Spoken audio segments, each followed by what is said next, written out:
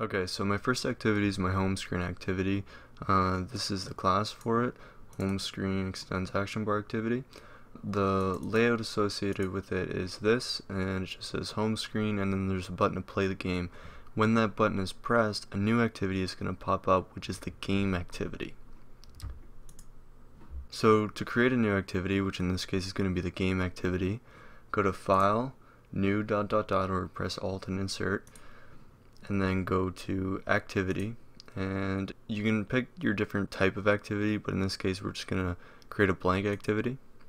And then you give it the name we're gonna call it game. Uh, the layout name is just gonna be game.xml menu doesn't matter.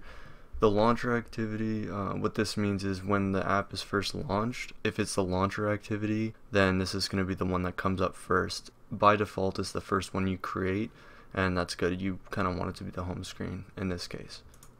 So hit finish, and then we're just going to create a, um, a large text view, and it's just going to say game so that we know that it's the new activity. So let's go back to the home screen activity, and inside this button listener for the BTN play game, which is on the home screen, all we're going to do is uh, start the new activity. So to start a new activity, um, you have to use the method start activity. And you can see there that um, the method is going to take an intent okay? So we need to create an intent object in order to pass to the start activity method. So we'll leave that blank for a second. Um, the intent is going to be this. Intent and we'll call it i equals new intent. And we're going to have some parameters we need to import the class before it'll tell us what parameters we need. So if you click over the intent word that is uh, red because it can't resolve the symbol, uh, press Alt and then Enter, and then it'll give you some options, or it'll just do it for you. And then type import class. It's going to import android.content.intent. Um, so now the class is inserted, and we can look at the parameters that this is going to take. Not sure why it isn't telling us, but um, whatever. So we need to give it two contexts, which is um, this context, homescreen.this, which is the name of your class, and then put dot this, and then the, the second parameter is going to be the name of the class or the activity that you want to start. So in this case, it's going to be game.class. And there we go, that's our intent object, and when we start the activity, we're going to pass it that intent object. Or we could just condense the code and put this new intent object declaration in here and get rid of this first line. Do it all in one line, it looks better that way. And now I'm just going to run it on the Android emulator to show you that it works. Okay, so this is the Android emulator. Uh, just unlock the screen. Here comes up the home screen. So we're going to press the button play game and then the new game activity is going to pop up. So notice that if we press the back button, the home screen activity is still going to be there. See, this is how users can press the back button and go between activities as if they never left them.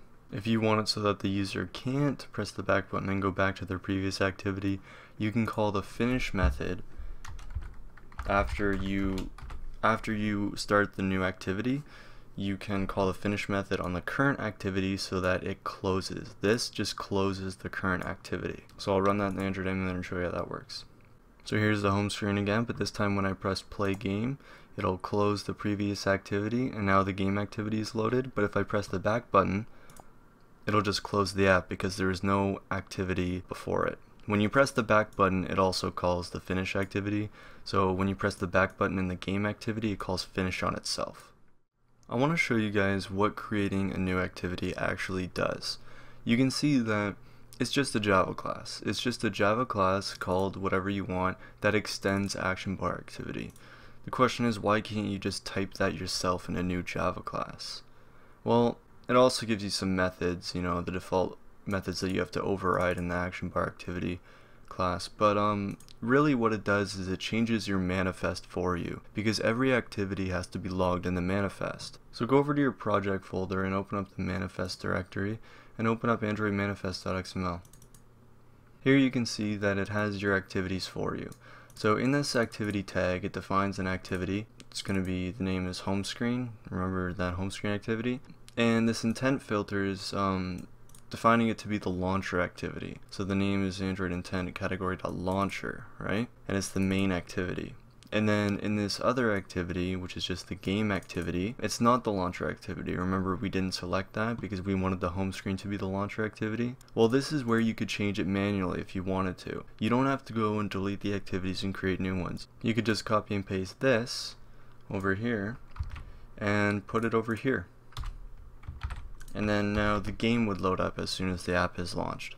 But this actually does it for you, and it's nicer to just go to File, New, Create New Activity than it is to go and create a new class that extends the action bar activity and then create the default methods that you have to override and you know add the activity to the manifest and all that. It's better just to do the create new activity and let it all do it for you.